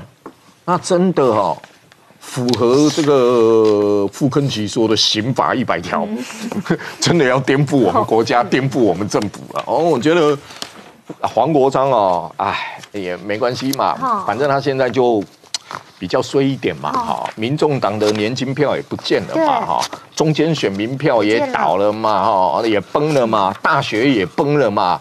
他在新北市尾随的侯友谊，从五颗星掉到四颗星，排名从从前面掉到倒倒数第六，倒数第六不满意度正数第三名。可能他在国会这一边立这个法，民进党的选票萎缩，拓展性萎缩，然后回过去要跟新北的大哥啊，的立法院副根吉是大哥，走到那边要跟。侯友谊，侯友谊他大哥，然后这个市政满意度又往下掉。现在黄国昌当然要积极表现，他很勇敢。对啊。不然他会被这两个人拖垮啊！其实也不是被这两个人啊，他自己拖垮的啦。他自己拖垮他自己的哈。这个黄国昌不要这个小看他自己做这件事情的后坐力，恐怕比他想象还要大。哎，但是慧珍姐，现在网络上面后有这个 podcast 的一个，哎，大家很喜欢照样造句，叫笑死！黄国昌是康奈尔博士，怎么可能他的法律会有问题呢？文盲吗？很多人现在都很喜欢去哭手黄国昌。哎，但是讲到这句话，很多人就想到之前的马英九，因为正在太阳花的时候，国民党的经典台词叫，哎。马英九是哈佛法学博士，江宜桦是耶鲁博士，哥大教授抗议的你是哪根葱？你们有懂吗？哎，这些话怎么觉得都似曾相识呢？他们都卖弄他们的学士，要大家硬吞这些账吗？我们来听一下。对于场外非常多公民团体、年轻人受到民主进步党散播的假讯息而迷惑，真正被迷惑的是我常被权力所迷惑。这几天场外的群众坚守民主程序的意志力，所有人都看在眼底。只有黄国昌用这种方式否定群众的智慧，有一些是他们会有点被骗。黄国昌委员太阳花的时候，马英九就是用这种说法。现在已经跟马英九同一个样子，用同一种话术否定群众，压制追求民主理念的年轻人，太可耻了。哇，慧珍姐，大家说十年后真的变了好多。二零一四的马英九等于现在二零二四的黄国昌吗？虽然人家是总统啦，感觉有点抬举黄国昌，但是不管怎么样，人家说你总是卖弄你的知识，卖弄你的学历，哎，但是都要硬大家硬吞这些东西。尤其黄国昌在直播的时候说，《经济学人》的外国记者刚刚接受我的访问，哎呦，原来他们被喂的都是民进党给的资料吗？公然的去挑战这所谓记者的专业，人家的东西都还没看出来，你就已经先下定论。你知道他为什么要这样做吗？因为他看到德。国之音哦，之前就是针对吴宗宪那个部分，哎，那请你定义一下什么叫反资讯？先立法再说。先立法再说，所以他就知道，就是说，哎，这些只要你不要说是。举凡世界各国啦，所有的媒体，尤其是像《经济学人》，已经有一段时间的，人家有这个招牌，其实是已经有经过一段时间在呃存在在那边的这种媒体哦，不会自砸招牌，人家是有非常呃深的一个专业度，所以才去采访你啊，问你的想法。对，所以你看到之前，我记得马英九上次好像也是德国之声，是不是也是在采访？相信习近平。对。就是你看这个记者，不管是台湾记者、外国记者，他其实在跟你进行相关的一个深度的采访的时候，他其实有脉络线。他从那个脉络线，其实会把你心里面真正的话给讲出来。对，而这个逼逼出你，就是也不能讲逼出，一针见血的挖出那个对，就挖出你最深层里面的那种真心话。所以这就是黄国昌为什么现在要先来开始啊，先来洗白。他说哦，如果这个经济学人的记者写的对我国昌是友好的哦，那这个。媒体公正赞，这个媒体。可是他说叫他们不要自砸招牌哦。对，所以这个意思是什么？你们只要开始质疑我哦，你们都是被民进党喂资料。那只要你写出来东西跟我不好的哦，那就是你自砸招牌。所以他已经是跟傅昆萁一样，在一个哦这种我是神哦，不可以抵御我，不可以质疑我啊，只能信仰我、崇拜我这样的角度，由上俯视所有的人。我觉得，其实某一种程度上，我觉得。他们是不是都有一种身心症？就是陷在自己的世界里面，尤其是我，我认为哦，国会议员哦，你是拿人民的纳税人的钱，我是不理解为什么在立法的同时，你不选择在那个殿堂上对全台湾的人进行相关的说明，而是要躲在你的荧幕之后，对你的粉丝进行相关的说明。哎，你是领我们纳税人的钱哎，为什么你可以在领我们纳税人的同时，你又进行直播啊？我觉得那个韩国瑜是不是要禁止一下？你有可能我今天来上何人抖内幕的同时，我又拿出我的那个那个手机在进行直播吗？当然不可能，人要有职业道德，好不好？所以我觉得。真的？为什么你身为国会议员，你可以哦不不执行你的立法委员相关职责？他们那一天不在讲吗？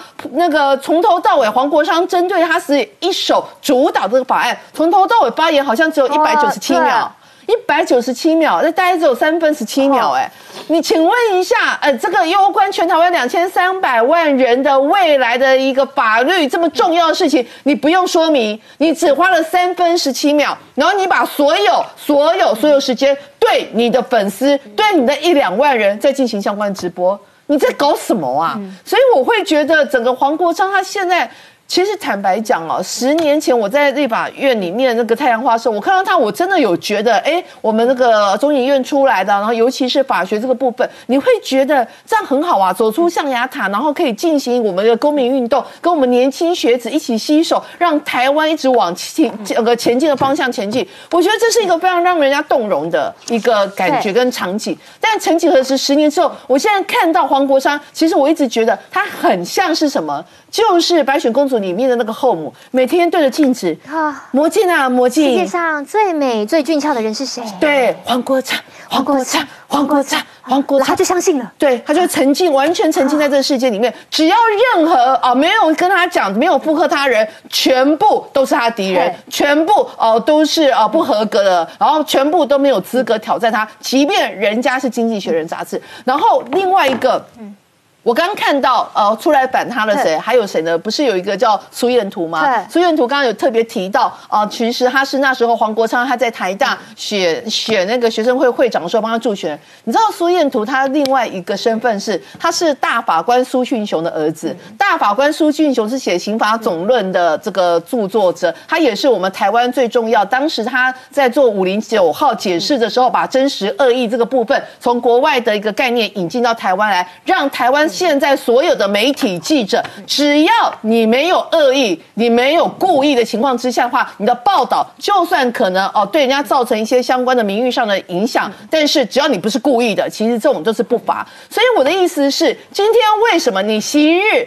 帮你要选哦，台大这个这个呃学生会会长的人，今天会站在你的对立面。而这个人他的父亲，事实上是让我们台湾的一个宪法，还有我们台湾的法律精神，不断不断往前进，一个非常重要的一个力量。我之前也提过，我们那个身份证，以前大家走在路上都要带身份证，也是因为他们之前的大法官做出一个视线案，说你所有这个侵害到人权的东西，你都要非常局限。因为人权是宪法保障，曾几何时，我们的立法委员竟然是以所谓的改革之名进行自卑、进行滥权，这才应该被人民给唾弃。哦，我是大家说啊，现在是整个朱立伦，包括整个国民党已经感受到说，哎，这个黄国昌加傅昆萁恐怕是失速列车吗？黄国昌、傅昆萁说要废监察院，结果今天最新朱立伦说，国民党是主张五权分立。哎，现在到底是谁要听谁的？朱立伦说要五权啊，国昌跟傅昆萁现在算起来是四权嘛，对不对？他说要是啊是要四还是要五呢？你们。讲清楚，再来跟大家说明。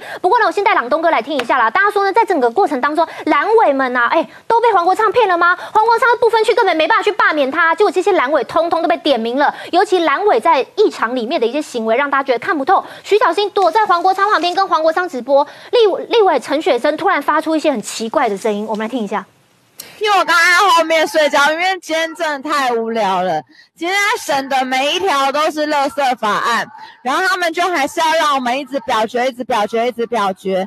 然后呢，他们每一条都说他们要上去讲，然后呢，什么都没讲，因为我们本来就是不予修正啊。那那请问要讲什么？啊呜啊呜啊呜！美味。啊！哎呀，吴端瑶生日快乐啊！吴大牙生，哎呦，胡大牙生日快乐！完了完了完了完了完了！我跟我跟人讲话听得到。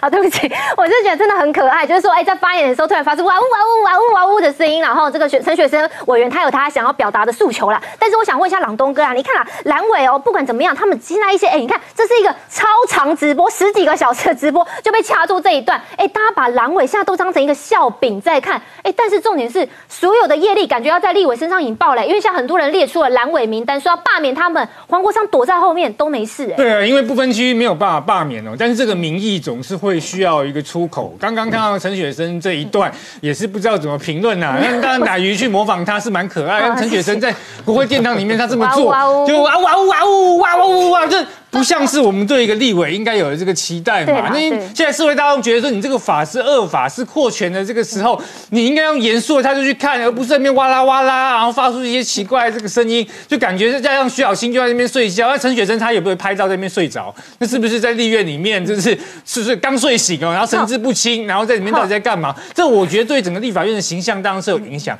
所以说民众都在讨论是说后续要怎么样进行这个罢免的这个行动。那当然啦，那有一些选区像徐小新，他可能觉得他的选区的话，呃，票票数还差七八趴，不容易被罢免。但现在有一个人就默默就消失了嘛，就是叶元之啊，现在不敢讲话了，因为他在全国知名度上面知名度非常高，但是仇恨值一直在飙升当中。虽然他仇恨度不是最高的，可是其实会不会被罢免，必须要看两个指标。第一个是本身有没有被讨厌的仇恨度，第二是他本身的这样子跟选区的差异，选区的结构。对，如果他选区结构只差一点点。票数只赢一些，仇恨度又很高，之后加重起来，所以他们现在说这个活动最快就是从新北开始哦，这个遍地开花。新北讲的是谁？恐怕就是叶元之，真的是要小心哦。在客观上面来讲，他是目前最有可能第一波被小心他的这个选区结构相对来说没有像叶元之那么容易。大家觉得说比较紧张，对啊，如果说啦，第一波哦，假设去罢免预言之过第二阶段哦，已经开始准备要投票的话，他就会鼓起一种风潮，是说，哎，这件事情有可能成功，就会有更多人说去尝试，所以后续这些蓝营立委要压力非常大。但是最实质影响最大的其实是两个人啊，第一个应该说有三个人，第一个人呢就是原本以为没事的这谢国良，结果那个基隆这个罢免行动，因为这件事情之后，那个罢免的这个募款呢，从这两百多万暴增到现在七百多万呢。就是他瞬间在一个礼拜之内，将近的讲了两倍到三倍。我昨天呢去到现场已经很晚了，准备要散场的时候，还有那基隆要罢免谢国良的团队特别跟我这个握手致意哦。所以我帮他们稍微宣传了一下之后的话，确实是有很多这个善款就涌进去。那所以这个对于呢目前在进行的这个罢免，确实是有影响。剩下两个人呢，就是台中跟高雄，柯志恩跟江启臣。江启臣他会躲到瑞士去，假说啊都不关我的事情。结果那个抗议的这个台湾民众如影随形在那边影响。那为什么？他们要去，这为什么江启臣要跑去国外去要躲这件事，或或者柯志恩在这个活动当中哦，也没有什么一些表态，因为他们都很害怕，接下来他们要去选六都啊，高雄、台中的这个时候，那些摇摆中间的这个选民会不满他们，因为这一次呢，这个最最多的站上街头，很多人是第一次哦，发现是说对于黄国昌有非常多的一些不满，所以他们没有办法呢，对黄国昌直接的就表示愤怒的时候，这些后续整个国民党的形象已经造成彻底崩溃的形象。好，我想问宇轩，你看刚刚朗东哥讲到一个重点，大家对于黄国昌的怒气会觉得哎无处可发泄，哎现在就有这个所谓的评论员就评论啦，说现在这些怒气会跑到民众党身上，跑到柯文哲身上，为什么会引爆在柯文哲身上？因为是谁给黄国昌权力当立委的啊？就是阿北你嘛，哎就阿北这时候到底该挺黄国昌还是不该挺呢？阿北说了一句话：国昌你辛苦了，感觉还是买单下去了吗？但是现在有社论也说了，有了黄国昌，谁还要柯文哲？人说柯文哲的二零二六恐怕要进 ICU，恐怕装叶克膜，你有不同想法？吗？不，这个说法很奇怪啊！有了黄国昌，干嘛要柯文哲？然后柯文哲二零二六会进 ICU，不是啊？二零二六柯文哲有没有选？那所以如果如果不不，如果黄国昌很好的话，那应该他选的很好。哦，对，是这这两句话怎么会痛？哦，那也通。不是这样子啦，应该是这样讲啦。现在你说黄国昌哦，民众党哦，第一个啦，民众党支持者群众会不会有问题？我觉得当然会有问题啦。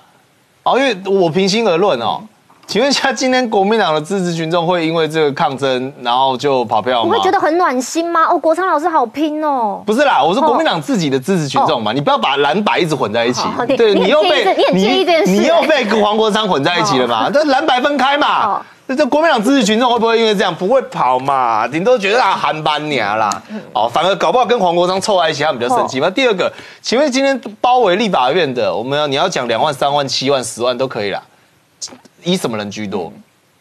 年轻人啊。对啊，年轻人啊，以年轻人居多嘛年轻哦。嗯没有，最后一天比较少了哦，但是前几天，特别是二十四号，年轻人最多嘛。嗯，礼拜五啦。哦，那我请问一下啦，那以前年轻人是属于谁的天下？阿北啊，啊，民众党嘛。哦最高峰的时候高达将近百分之六十嘛，二十到三十九岁自霸天下嘛。嗯自霸哦，他说如果投票率百分之百，他就当选总统了对嘛。对对。哦，那结果，那我请问一下，世界上街头人会不会有民众党支持者群？哎，这才最大的问题台嘛。共哦，这才最大的问题嘛。王一川说没有嘛。啊，王一川根据这个我不知道哪里来的资料说没有嘛对他说没有。哦，那我不用资料了，我直接跟你讲啊，年轻人这么多，一定是有民众党的人嘛，对不对？那请问一下柯文哲会不会担心？当然会对啊，啊，怎这一定？会造成冲击跟影响的嘛，因为这是他的本命区嘛。这等于是你的 K K 组哎，你的 K K 组让地基好像会 O 不 K 啊会通通又回流民进党啊？对吧，这个哦对吧？只会回流民进对党。那云家两个讲到一个重点嘛，但不然，只是年轻人不会跑到国民党去啊。他们怎么样都不会跑到国民党去啊。他们选举的时候，我宁愿投赖清德，也不要投侯友谊啊。他们是这种人啊。所以我说国民党不用担心，你知道吗？因为没有没有得到就不是你的不是没有得到就不会有失去的概念，哦没有在一起过哦就不会分手啦哈啊，对对对对对对。现在怎么哎有点 不是啦，所以我跟你讲啦，民众二零二六反而要担心嘛。但我平心而论，真正更该担心的其实不是民众党，是国民党啦。哦因为民众党我还是维持我原本一概论调，我这个人的论调是一致的啦，就是谁给能谋棒给塞乌嘛，等于他当选不了，对不对？对那其实可不可以害你国民党落选？可以啊哎，对对对对，对到处给你棍安家二搅屎棍，对不对？那跟县市长我都给你开花啊。就是本来蓝跟白的总数是六成对，那现在已经被这个害到，可能只剩五成五了。只可能只有五成三了，对不对？然后损失的是民众党的，因为国民党 nothing to lose，好不好？就是年轻人、年轻界的 loser，对对，他就是年轻界的四平户，所以他无所谓。啊，这时候你民众党在票，然后跳被拍到这，跳又再掉，然后又给你在那边拉迪赛，全部都给你拉，对所以这才是最大的问题嘛。那其实今今天民进党的策略很清楚，为什么要猛打黄国昌？因为蓝白合资于新北市，这是唯一的胜利方程式嘛。对不对？哦，其他人我已经消遣太多遍，我今天就不赘述了。就国民党没有人嘛。对。哦，那所以这个情况下，只要把黄国昌弄垮，因为新北是一个滩头堡，拿下新北市，那至于民进党来讲，等于他全台湾就胜了，等于是二零二八的胜利就奠定一个基石了。所以黄国昌变成一个至关重要的角色。但我现在反过头来，最后一句话，最后一句话，我反而问国民党，什么时候国民党新北市拿不出人，还得要看黄国昌，仰赖黄国昌？拜托一下，争气一点好不好？哦，确实包括宇轩的语重心长来讲一下啦。但是呢，刚刚宇轩也讲到一个点啊，说蓝白河哦，其实在新北这边是行不通的。哎，倒是在台中，大家觉得台中倒是有可能哦。另外，我们稍后要来看一下民调，关于这一波所谓的国会改革，硬这样子推过去，哎，真的对于民意都没有影响吗？国民党才当没几个月的国会最大党，马上就忘记民意才是最重要的吗？先进广告，稍后继续爬书。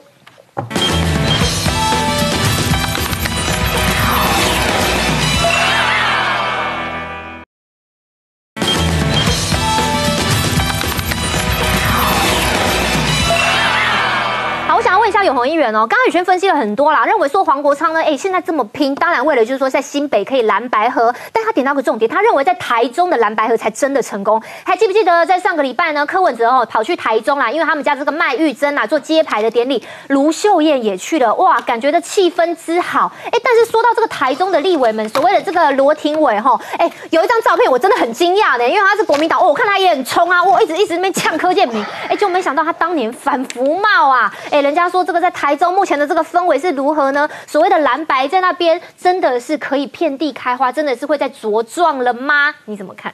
我跟你讲哦，我今天中午刚好有一个节目哦，跟在正浩那边，他们都说台中三帅啦哈。哦，怎么三帅呢？我觉得台中三傻、啊，就罗廷伟、廖伟翔跟黄建豪啊。为什么说他们三个是三傻？你们去看哦，国民党那些有经验的立委，其实都没有冲在前面呢。包括发言也好，包括打架也好我，都看到这几个你们其实都。在对，那不止啦，哦刘许婷啊，涂对啊年轻的这个都是前面都是新科的。为什么？第一个哈，真的很傻，因为他们没有见过大场面，很嗨，你知道？热血啦很嗨，然后觉得哦，我可以直播讲这话，有记者来问我，很嗨。你知道，乡下人进到大观园都这样，哦琼州啦琼州嘿哦很嗨哦。然后有经验的，你看他们第一个讲话都比较保守。我说国民党的哦，对对对有经验的，你看这些这个不要说做几十年的啦，只要有做过立委的，讲话都比较保守。第二个也没有在冲突的时候，也没有在跟人家拉扯，有没有？都是新科的说，你们这几个叫三傻啊，全国有好几傻，傻什么傻？因为哈、制造仇恨值哈、就是制造自己被罢免的机会了。对你看看聪明的是谁？像这个江启臣，嚯、闪得很远呢，啊好不好？你有看过他在讲话吗？一样都是台中呢。哦，一样都台中立委，那个状态很不一样对啊哦，。这个就是内行的。哦你常讲哦，哇，那制造仇恨值哦，哎。罢免是什么？我告诉你哦，罢免是你被罢了之后哈，不但你补选不能选，你下一次选举也不能选，那你就没有了啦。好，那我们现在讲到台中三傻哈，因为有好几个哦，因为我已经有网友列出来说哈，得得票率比较接近的嘛，廖伟哦翔啦，哈，比较近。廖伟翔啦，哈啊叶元之啦，你看叶元之嗯哇，他才赢一点多趴，这是捡到的呢，而且那时候是有蓝绿呢，哎，对不起，有蓝白河呢。换句话说，没有了蓝白河，没有蓝绿对抗的这个氛围之下，纯粹只是说我要罢免这个人，那也不是蓝绿对抗的时候，我告诉你，他们都很危险呐。那刚刚讲到听说还有一个叫敲锣行动，要罢免罗就这个廷伟哦。啊。那特别讲他是因为哈，这个我我们地方很多，事实上哈，他们现在有一个地民间，呃，年轻人已经弄一个群组哈，哦就是要霸罗行动群组，但。我有被人家邀请，但我一直没有加入。嗯我想说，我总是现任议员，我加入就让民间说，我一直没有加入自。己去。嗯，对，你看哦，这个是过去罗廷伟哈，我我说真的，过去罗廷伟这个在什么太阳花时代，他要去蹭太阳花哦。他们家以前卖牛肉面，好小罗老罗牛肉面。他说支持福茂牛肉面半价，好支持以前叫反福茂哎他说只要支持反福茂，哦那时候他要蹭太阳花的。好，然后林佳龙当市长的时候呢，他那时候当里长，他一直去蹭着林佳龙。哦，真的哦。那时候蹭到林佳龙还说哦，那个青年议会的议长要给他做。后然后后来为了选举呢，因为那边没有空间呢，就去选，就加入了国民党，整天开始骂林佳龙。我都觉得这一种人哈，说真的啦，很投机，很取巧。但是哈，你再投机取巧，这次就是成为三傻。为什么？廖伟翔也成为三傻，不是说你。不，你们真的就是傻，就是傻嘛。你看那个有经验的都在旁边，然后不讲这些刺激的话，然后你们这些没有经验的、没见过大场面的，去讲的很嗨、很开心，还动手的，等着被告吧，等着被罢免吧。而且我现在知道，像这个他们三傻的那要罢免的是，他们地方很多人是直接跟里长讲说哈，比如挺罗廷伟的里长在跟他讲说，我连你一起罢免。嗯，你说里长怕不怕？里长当然怕啊，开玩笑。他们这些人当选就是要靠跟他的条卡有关嘛。我连你连你这个里长一起罢免，里长会想说开玩笑，我说里长，哎，你这个被罢免的人不能在同一区四年内不能在同一区选同一个职位，那你还可以跳别区选，哎，maybe 你还可以选议员呢。里长是最基层的，我不可能跳去别里选呢。那我现在直接说，我连里长一起报，这是为什么？最近哦，他这个区哈、很多里长开始出来在跟大家说明哦，我啊，我这一年哈、当选这一年多，我做了什么东西哦，金丢嘛，所以这我真讲这三傻其实不止，然后很多人在加柴火。你看徐巧芯在讲说哦，如果民进党你罢我一个，哎，我罢你五个，呵你罢我五个，我罢你十个，这数学很奇怪哈。第一个是一乘五，第二个变成是五乘二，这是什么数列？应该是我罢你五个，我就罢你二十五个才对。他没样他不会算的哈。那我觉得这样，他要搞罢免大战，就直接国民党有种一点啊，你就直接抵讨格，然后大家解散国会，全部重选嘛，对不对？还要搞什么？大家全面来罢免？那徐小庆讲这，就是他在安全区啊。嗯，哎呀，他在安全区他跟罗志祥在吗？他跟罗志祥那个选区是你放一颗西瓜在那边写，傅昆奇都会当选。哎，我没有说傅昆奇是西瓜哈，我只说放一颗西瓜那边写傅也会当选，好不好？结构。但是你看其他这些哦，比如说叶元之现在脸就很绿啦，你说哈要罢免他容不容易？很容易耶，因为现在第一个仇恨值超高，第二个哈罢免是这样哦，罢免不过哈是不能再提，好像是这个呃这这还有一定的时间内不能再提。不过重点是这样，当你被罢免一次之后，你的那个负面是很大的。你看黄国昌那时候被罢免，虽然没有过，可是他是不是就不敢再继续续续子再选？嗯，所以接下来两起就惊了嗯啊！你们要继续当哦三傻四傻五傻哈啊！当然啊，你们就继续当下去了，然后就等着看哦，你们就被罢免。好，那我想要问一下彩薇，彩薇，你看到、这个最新的民调，包括说美丽岛说啦，在国民党的部分呢，好感度正面评价是下降了三，那负面评价呢是上升了七点六。那现在同时有很多的这个国民党立委被点名说可能想要罢免嘛，对不对？但是你看哦，像包括说叶元之等人啊，这个话都讲得很小声，哎，但是巧心就讲很大声，巧心说要罢免就来呀、哦，他原文就来呀、你罢免我一个，我罢你五个，你罢我五个，我罢你十个，哦，呛得很大声，哎，但是他自己这个，哎，他自己应该不会有什么问题啊，别人不一定呢。你看涂全吉、岳元之、丁学忠、尤浩等人，他们当初都选得很辛苦哎。如果国民党有很多立委说不要引发这种仇恨罢免的话，乔欣又为何要说这些话？我觉得跟每个人性格有关系啦。巧心也不是今天这样子，这 这种比较 比较冲的性格，他从以前就是这样子嘛。其实不管我觉得他在什么样的职位，他自己的个性就是他自己的个性啊。他也从来没有在说他他这个会殃及无辜呢，然后就他说你就来吧、啊。我我觉得，我觉得跟 我觉得他讲什么话我我觉得跟他讲什么话，其实跟你说会会不会殃及无辜，其实我倒不觉得是什么大关系了。我觉得今天民进党的氛围就是这样子嘛，不不管说是谢国良或者是其他人，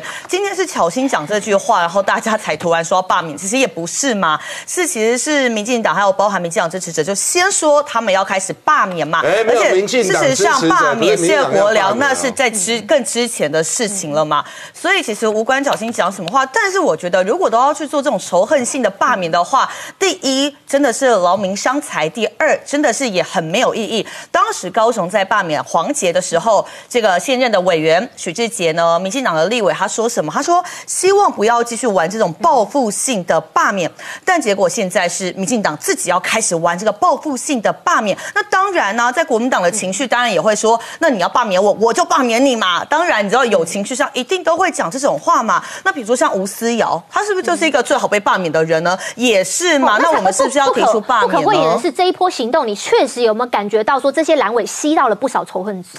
我觉得在不管每一波行行动哦，不管是民进党或国民党，一定都会吸到仇恨值，一定都会有的。的确，你说国民党立委在这一波有没有吸到一些仇恨值？一定有嘛，包含不管是我，又或者是其他议员，一定也都有的。像我刚刚就有在看说什么，呃，那个网友就说什么要谴责我，因为我公然就是国民党公然去介入社会运动，我觉得真的有点搞不清楚状况，因为他们在讲的是我礼拜五去现场，然后有被骂的一个、那个其实嗯。对那个其实是那个节目邀请我到现场当来宾，那现场的当然就有一些叫嚣嘛。那我觉得只是比较遗憾的是，他们刻意用大声想要来压制不同的声音。好，我觉得撇除这个不管啦，我觉得现在大家都是在一个情绪上头的一个氛围。那在情绪上头的状况之下，其实不管是国民党立委还是民进党立委，当然都会有一些很狠的话讲出来啊。那如果说继续玩这种罢免的话，那如果要罢免一一一个的话，你要罢免我一个，我罢免你一个的话，哇塞，那这样全台湾罢免不了嘞、你北中南你都可以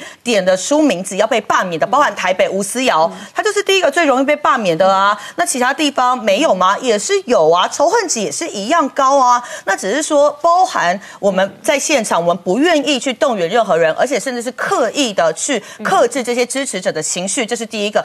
第二个，其实我觉得到之后，我觉得都应该要去克制这一些所谓的报复性罢免活动，因为这样子很没有意义嘛。那吸了仇恨值，劳民我觉得伤财的吼我嗯对我觉得劳民伤财了。那吸仇恨值，我觉得是本来就是政治人物要去承担的嘛。如果你不要吸仇恨值，那我觉得就不要当政治人物，那就是你不敢进厨房嘛，就不就是怕厨房热嘛。我觉得这个吸仇恨值都是很正常的事情啦。好，在这边我也想要表明一下，包括说彩薇其实当天有接受这个有台的访问，在现场遭到现场民众的叫嚣。其实我个人不太认为这样认这个行为是不太对的，因为我本身也是担任媒体，我觉得媒体在现场采访，我们是有我们的工作权的，希望大家尊尊重在场任何立场，你觉得是怎么样立场的媒体，你应该要尊重他们的工作。包括说彩薇到现场，她也只是接受访问，大家应该。该要更去尊重，用最平和的方式去表达你的诉求，这样子你想你的声音才能传到真正的异温层，不然就都只是同温层。请大家尊重一下媒体工作权。好，我们先进一下广告，稍后我们继续来分析哦。我稍后我要问一下我们在场来宾了哦，阿北，现在人家说了，二零二六准备要啊这个进到这个哎急诊室了，准备要夜克膜了，为什么？因为黄国昌这样一搞，民众党的小草通通都会变回头草，民众党的小草都被青鸟吃掉了。先进广告。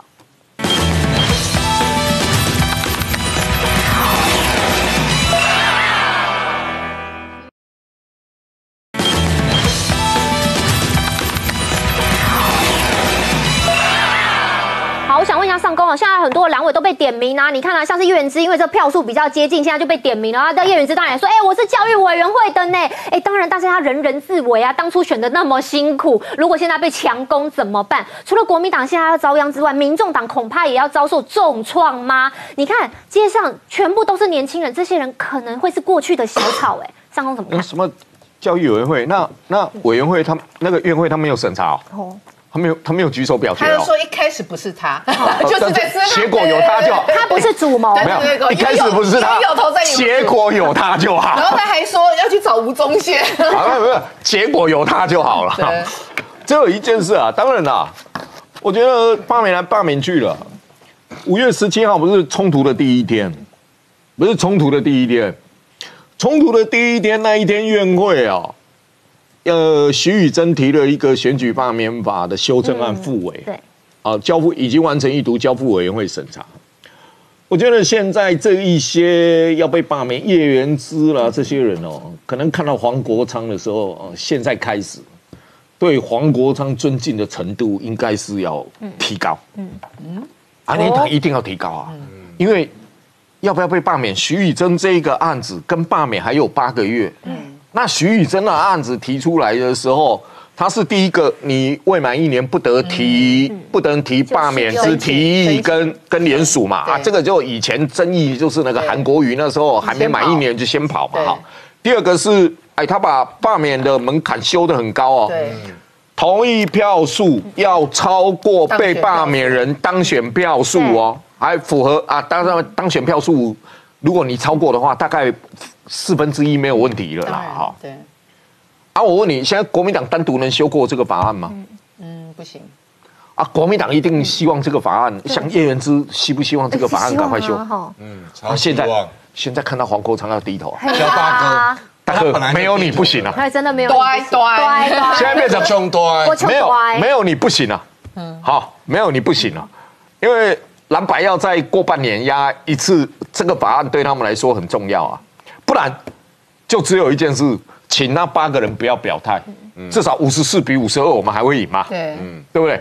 所以现在你又知道，这些立委看到黄国昌又要视为昌神，如果你不帮我们忙，那麻烦你们也不要投票，那国民党赢就好，国民党赢就好嘛，五十三比五十二嘛，因为扣一个主席嘛，那就不要突锤两个人没到，那就挂了。所以一定现阶段又要看黄国昌脸色。那你就看到这里一面啊，当然我也不想讲被罢免的有有很多人是倒来倒去投机派的，那一定要去拜托黄国昌嘛。现在看到现在黄国昌走进国民党里面，真的是神。superstar。对你这个法案要不要过，能不能我过，又要回过头来看我脸色了。票，对，然后呢，他已经忘记了这个法案是他搞成这样，让 大家一起受害的。哎对对对他他他绝对会忘记的，他绝对会忘记他一定又要享受那种。哇。你看，国民党又来拜托我，又要来听我的，对。对，他又要来听我的，所以你说现阶段大家在那边罢免来罢免去，我觉得第一阶段国民党一定会让这个案子要让他过的嘛，对不对？哎，四月十五号到五月十七号开始，也不够一个月啊而，且一趴而已，对不对？而且它只有两个条文而已啊，它只有两个条文而已啊。如果避免这一次重演两个条文来啊，我们广泛讨论，两个人以后停止讨论啊，逐条的时候三个人讲完停止讨论对啊啊，然后表决送院会啊，也也不会很慢啊。嗯就因为它只有两个条文嘛，它不会很慢啊。所以你说现在罢免来罢免去啦，当然我最终先看这个法案国民党跟黄国昌他们是不是又合作，把这个案子撸过去以后，撸过去以后，我跟你讲，每一个国民党的立委都很安心了。好，确实哦，感觉黄国昌接下来呢，国民党还很需要他，因为他有八票。接下来，哎，这些立委要自保，需要黄国昌保护他呢。黄国昌变成那个保护符呢。我们先进一下广告，稍后继续讨论。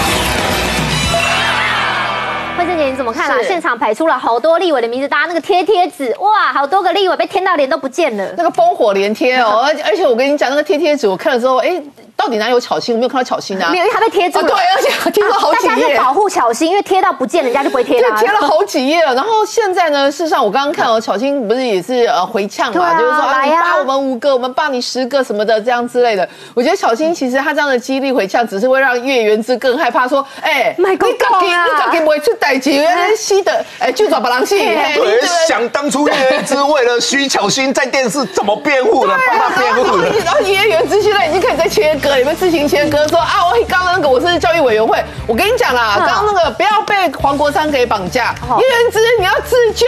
你要那个人家行政院提出复议的时候，你要勇敢的那一天尿遁，好尿遁对不同了不同了对没有没有，那天就是啊，我家的狗狗生病了啊，或者是说他现在都说他是教育委员会的，对啊所以法制委员会的事情不关他。现在已经，而且他还告诉你怕你不知道是谁，他说那个吴宗宪宪啊因为不分区安全对对对对，他是那个吴宗宪，吴宗宪才是明天继续讨论，谢谢大家，拜拜。全台绝无仅有，政论妇女党上攻三一夫。啊好，刻在我心里的字，忘记了。所有的小草要七点半上班，樱桃给我七点半给你薪水吗？感谢支持全台湾最欢乐、知识含金量最高的直播政论节目《狠狠抖内幕》，收视狂开红盘，网络播放量突破两千万次。现在我要发出奶粉召集令，周一到周五下午两点到四点，陪奶鱼、奶球一起抖起来。什么？你下午的直播没有跟上？不用怕，晚间十二点有善字幕版等你一起来。